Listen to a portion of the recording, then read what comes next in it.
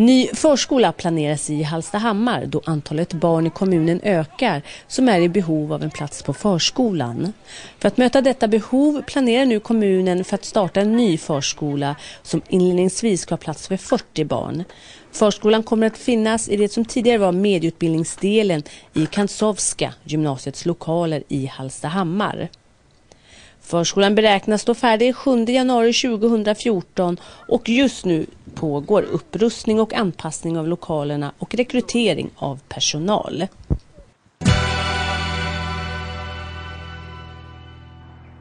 I somras så var det en snackis enligt en av företagarna på länsväg 250 i Köping om när vägarbetet på Bergslagsvägen skulle vara klart. Och nu har Trafikverket slutfört vägarbetet och nu är det en snackis bland mackägarens kunder hur dåligt vägarbetet utförts. Ja, bortsett från den första sträckan när man kommer in till Köping så tycker jag den är bra. Eh, det vart snyggt och man fick ner hastigheterna och det var väl det som var tanken bakom det hela. Sen har det ju varit katastrof att belysningen inte fortfarande funkar nattetid och trafikljusen funkar ju inte när de öppnade upp så det smällde ju i våran korsning här direkt. Det tog ju bara några dagar så vart stolpen nedkörd och det är ju inte bra. Varje dag så träffar du ungefär tusen eh, kunder här inne hos dig. Eh, vad är deras reaktioner på, på vägen?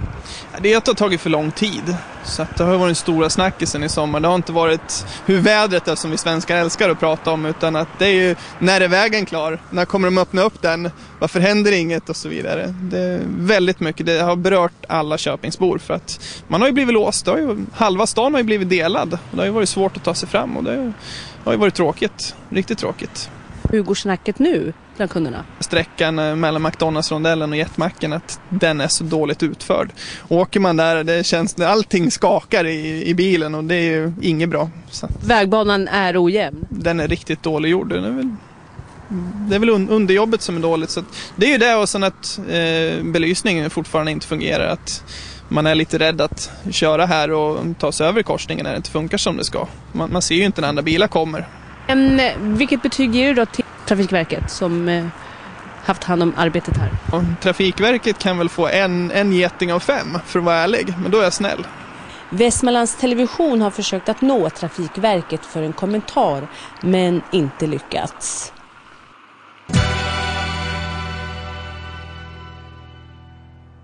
I år firar Sommarbackens Ullbod i Köping 30 30 år. Och konkurrensen är tuff på marknaden, speciellt i en liten stad som Köping. Och det ena företaget efter det andra läggs ner. Men ägaren på Sommarbackens Ullbod tror att en orsak till varför de fortfarande finns kvar är att deras verksamhet inte behöver följa olika modetrender. Och en annan orsak är att ullprodukter säljs året om, sommar som vinter, nu som förr. Det började ju då för 30 år sedan. Då startade mamma sin firma. Och då började hon att sälja ullprodukter på torg och marknader. Och med tiden sen så blev det, då blev det postorder och så blev det butik. Så det har, det har vuxit då med, genom åren. Hur kommer det sig att Sommarbackens ullbod fortfarande lever och verkar? Eh, troligtvis är det väl att vi har ett bassortiment. Då. Vi, vi säljer ju främst eh, strumpor och underkläder utav ull som ser egentligen likadana ut år efter år så att säga. Men det följer ju inga modetrender och så som så många andra butikskedjor gör. Nej, det gör det ju inte.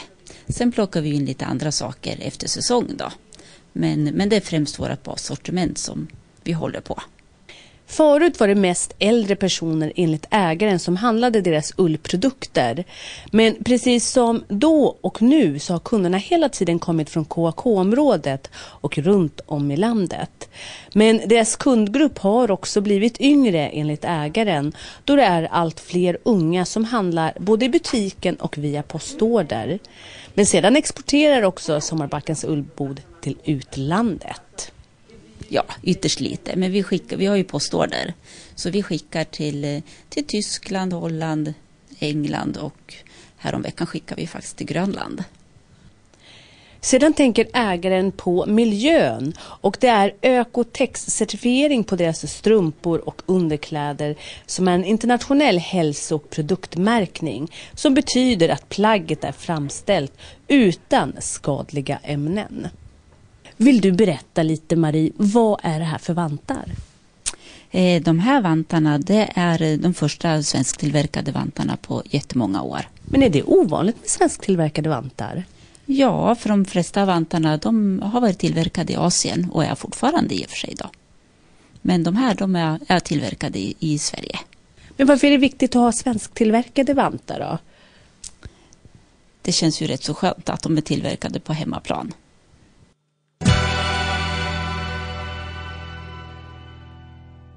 I år firar Kungsörs äldsta förskola 40 år och Vilda, Nova och Nelly berättar för Västmanlands Television hur det är att gå på Täcklunda förskola.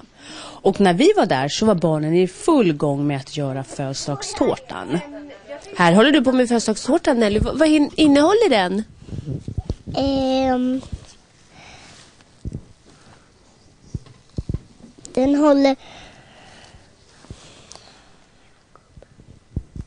jordgubb och hallon och, och blåbär. Vilket tycker du bäst om? Blåbär.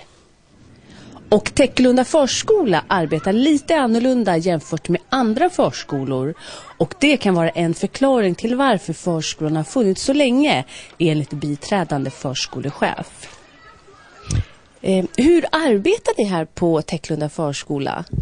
Vi tänker att alla barn kan Eh, vi anpassar oss efter alla barn. Alla är sina egna individer. Eh, här på Täcklunda så har vi öppna dörrar så alla barn känner alla barn och vi vuxna känner alla barn så att barnen kan komma till vilken pedagog som helst och känna sig trygg. Så att, för vilken åldersgrupp har ni här? Vi har från ett år till fem år. Och det är ju lite ovanligt faktiskt att man har öppna dörrar mellan avdelningarna. Absolut, så kan det vara. Men vi tycker att vi vinner så mycket på att ha öppna dörrar.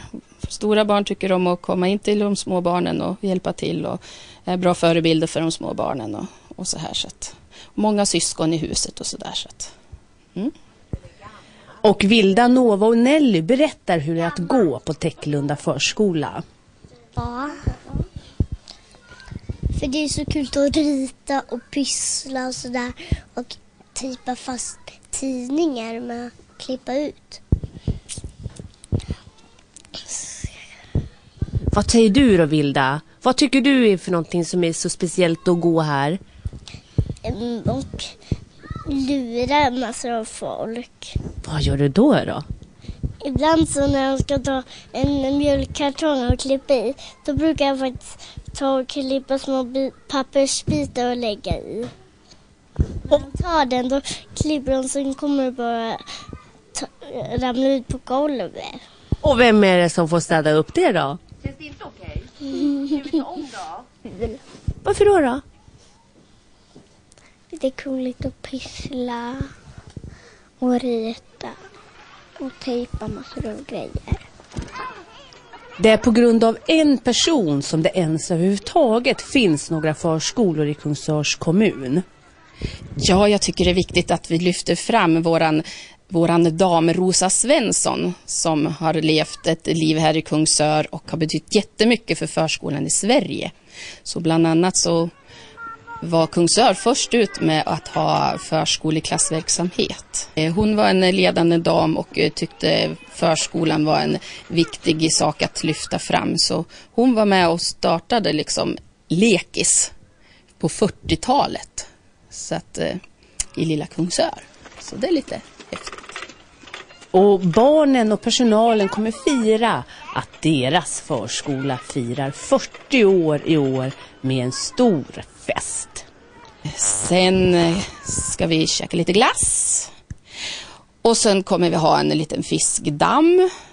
Så de har turen och där har vi då eh, bucker som de kommer få fiska. För då blir det så här att det blir kulor. Vadå alltså ni kommer ha lite kulor? Nej, pyssla och grejer. Men Åh, Vad kul! ja. Jag fattar. Grattis då hörni.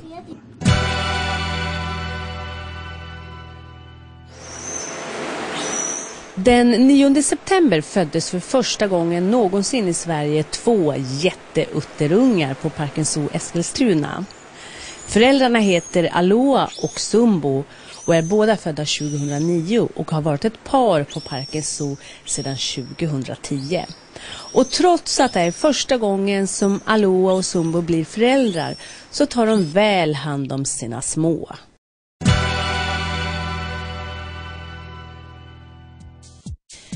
Och så lite sport. IFK Arboga fortsätter att vinna i herrarnas division 2 hockey.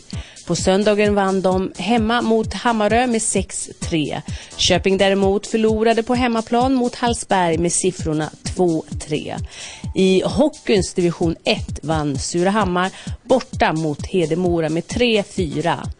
I damernas innebandy vann IBK Köping stort mot Endre IF Ungdom med 3-15. Arbogas damer förlorade efter en förlängning mot Munkfors med 6-5. Köpingsherrarna spelade en match i fredags på bortaplan mot Tillberga. Köping vann med 4-6.